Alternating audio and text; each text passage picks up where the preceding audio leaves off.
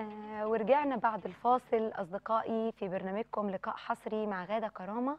آه، آه، فقرتنا دلوقتي هتدينا روح وطاقة إيجابية جميلة جدا آه، من خلال لقائي بالأستاذ آه، الأستاذ حسام الهرماسي الشاعر المبدع ورجل الأعمال آه، البارز في مجال آه، المقاولات العامة وشركة مدير عام شركة الهرماسي للمقاولات.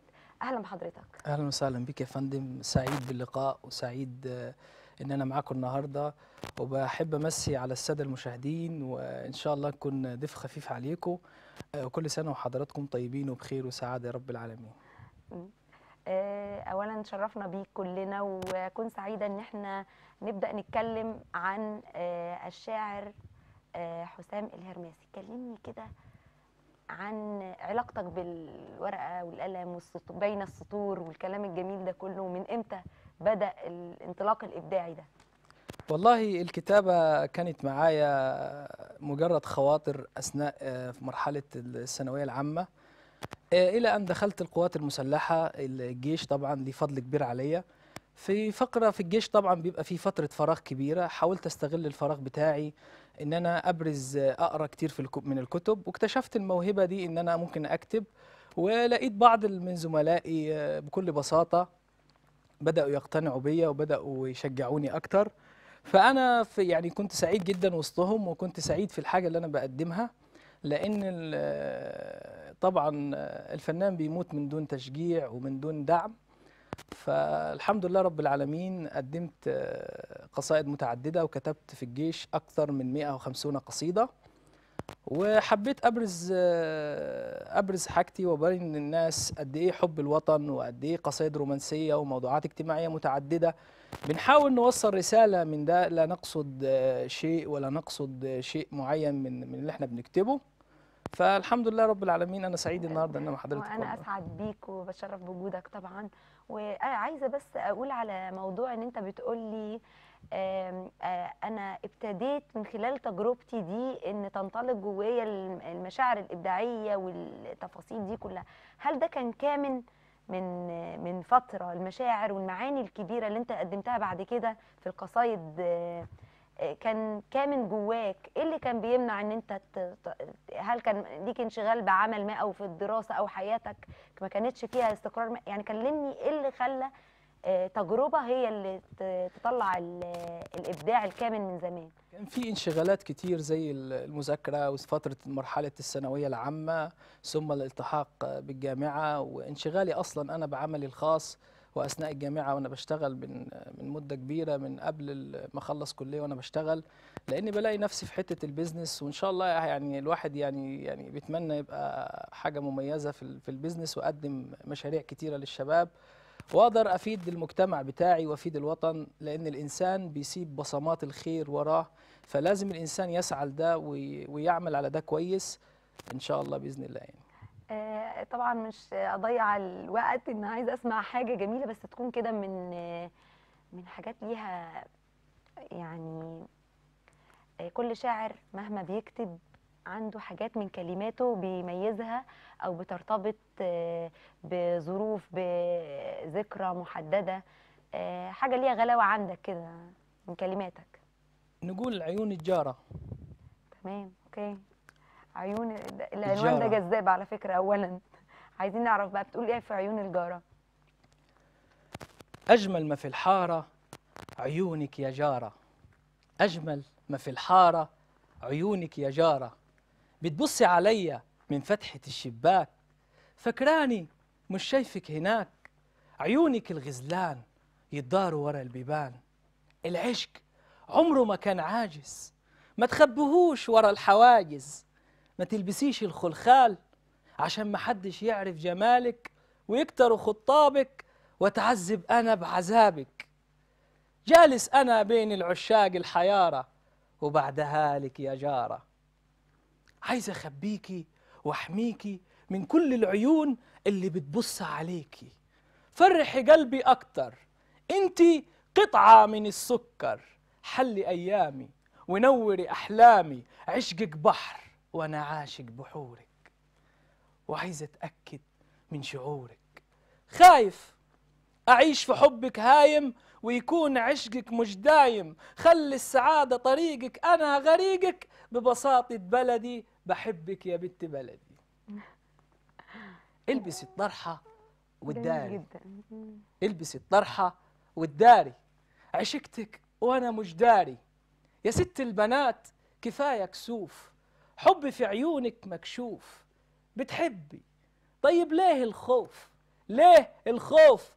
دافعي عن عشقك وما تخافيش من جهل مجتمعك. القمر حكيت له عليكي وعايز يطلع ينور من عينيكي. نفسي أعرف لعيونك لون. بيهم أنا عايش مفتون. في الصبح بشوفهم سود وفي الظهر مليهم العسل وبالليل أزرق وبيلمع فيهم القمر. شمسك دهب لامع وغير صوتك أنا مش سامع.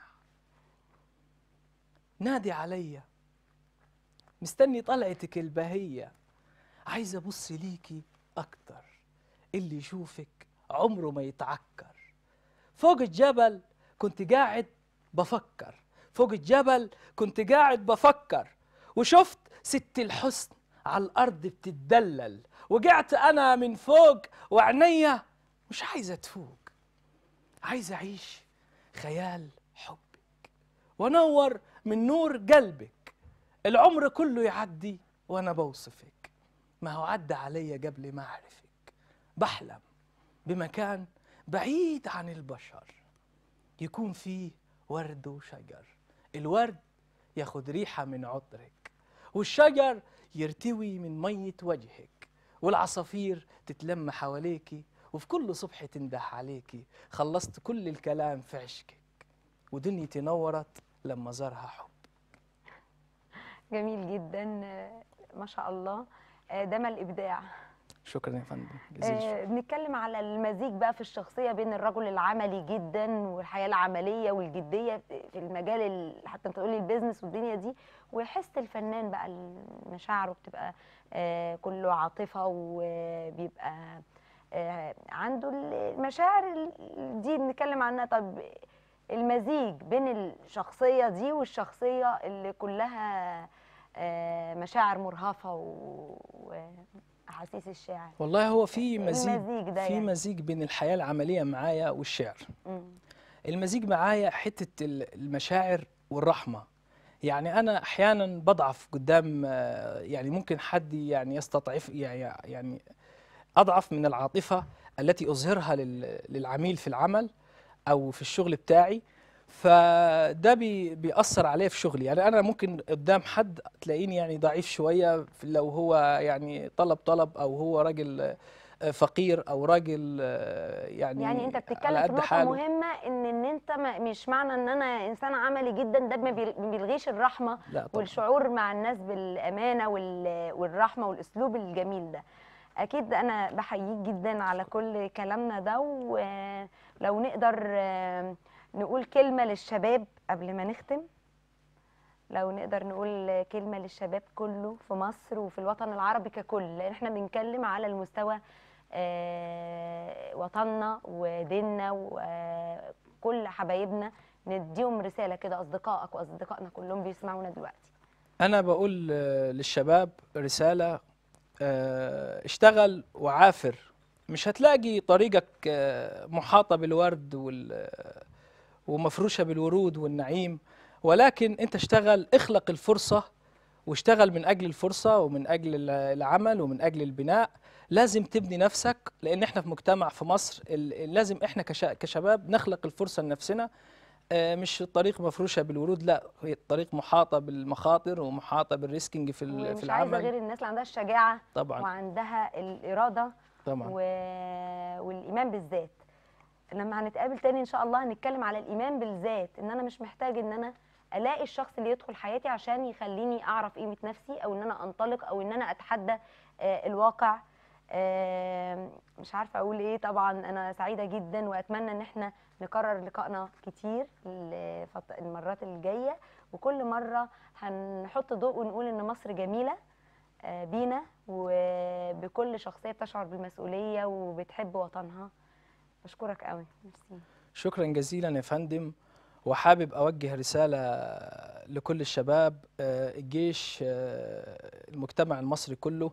يا جماعة الوطن غالي والدم غالي ولازم كلنا نقف بجانب بلادنا ونقف بجانب أوطاننا ونقدم الشيء اللي بيليق بالمجتمع المصري كله.